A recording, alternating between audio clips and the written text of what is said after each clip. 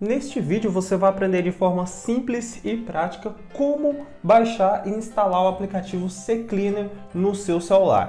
Olá galera, tudo bem com vocês? Eu espero que sim. Para quem não me conhece, eu me chamo Thiago e antes de começar o vídeo já te convido a se inscrever no canal, deixar o seu like e ativar o sininho de notificação.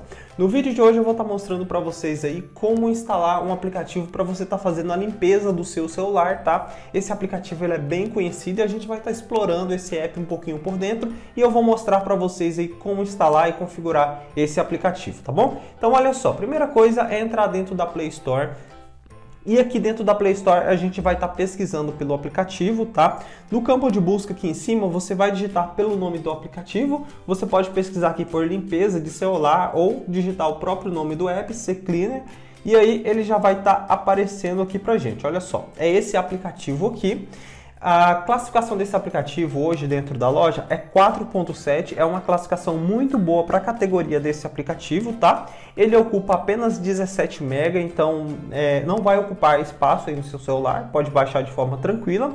Para você fazer o download, clica na opçãozinha instalar, ele vai estar tá baixando o app para gente no celular, tá? E ele já faz a instalação na sequência ali, tá bom? Descendo aqui mais para baixo, temos uma pré-visualização de como é o aplicativo por dentro, tá?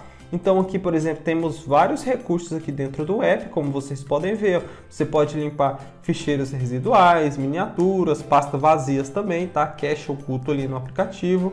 Você também pode fazer a limpeza de memória, gerenciar o uso do, dos aplicativos também, tá? Através do do CCleaner. Aqui você também pode fazer o processo de otimização de foto, tá? E tem o processo de limpeza automática.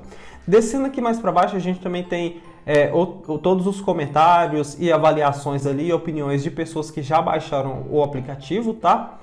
Vou clicar em abrir o app e aqui eu vou clicar em começar, tá?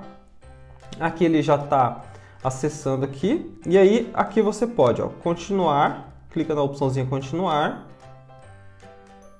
e ele já vai fazer o processo ali para você já de limpeza, tá? Aqui ele já está mostrando o espaço utilizado, então ele está falando que está 49% é, por cento ali está utilizado e a, o espaço livre que a gente tem é 69 é, GB, tá? Vou clicar em começar e aí ele já vai começar a fazer o processo aqui para gente. Primeiro você vai permitir o acesso, tá? Uma vez que você selecionar aquela opção lá, tá pessoal? Aqui você também pode estar tá é, acessando aqui, ó, a questão do, da lixeira também, tá bom?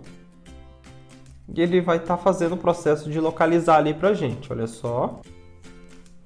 Beleza, pessoal, ele já fez aqui o escaneamento pra gente e aí já podemos ver o resultado, tá?